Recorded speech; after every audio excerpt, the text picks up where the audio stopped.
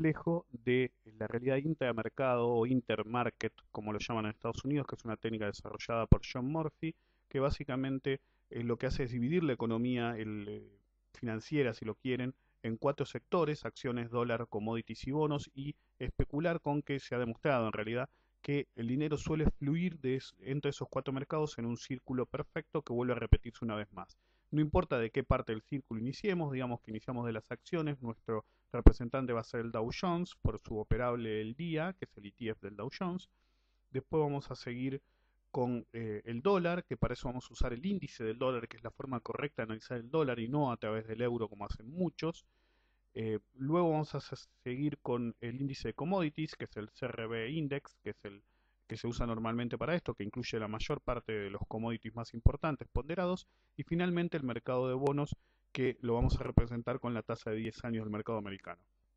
Para empezar por el lado de las acciones, vemos que hubo una divergencia entre los índices, como decía la vieja teoría de Dow, uno no puede tener, eh, los índices deben confirmarse unos con otros, y este no fue el caso, ya que vimos mínimos en el Nasdaq en el Standard Poor's, y no así en el Dow Jones, que tiene un 37% de probabilidad de nuevo mínimo respecto del día 10 de octubre, lo cual por ahora parece complicado que se dé a pesar de la debilidad, pero tenemos que tener en cuenta un factor adicional que es que después de haber generado una señal de compra no confirmada el día 30 de octubre, nuevamente se genera una señal de venta que es automáticamente confirmada porque el confirmador seguía apuntando a la venta, pero de todos modos un 37% de probabilidad de nuevo mínimo es muy baja y si maximizamos el gráfico vemos que eh, no solo se da eso, sino que el volumen apoyaría la hipótesis de que estamos viendo el piso eh, y podemos ver un arranque fuerte desde la zona de 80 que podría convertirse en un pseudo triple piso. Todavía no podemos confirmar eso, obviamente, necesitamos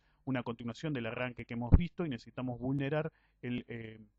máximo del 4 de noviembre. Así que por ahora el mercado americano en tanto hace al Dow Jones tiene una baja probabilidad de nuevo mínimo, si bien 37% habilita el nuevo mínimo, se ve complicado por ahora, habrá que esperar los próximos días. Eh, si miramos el dólar,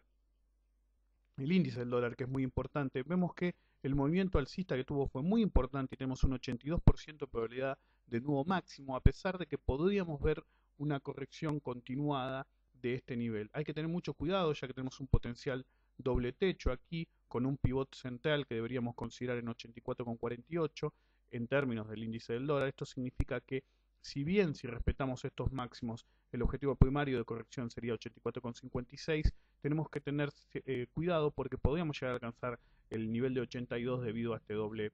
potencial doble techo por ahora. De todos modos vemos un 82% de probabilidad de nuevo máximo, así que lo más probable es que el movimiento de fortalecimiento de la divisa americana contra el resto de las divisas y los commodities en general continúe. En ese escenario,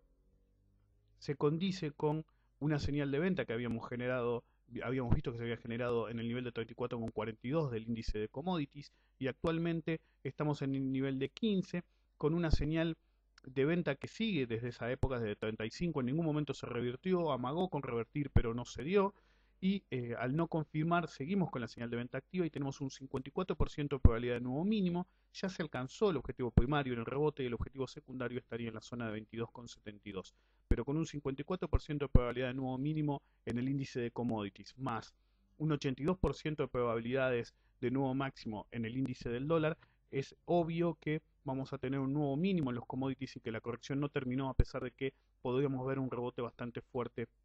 por el camino. Todos estos análisis son en términos diarios. Eh, Además está decir que la caída que han tenido los commodities se ha demostrado nuevamente la hipótesis que manejábamos hace un tiempo, que básicamente un buen componente de la suba de los commodities básicamente era la devaluación del dólar contra el resto de las monedas. Y ahora con la fuerte revaluación del dólar vemos cómo automáticamente los commodities empiezan a caer fuertemente.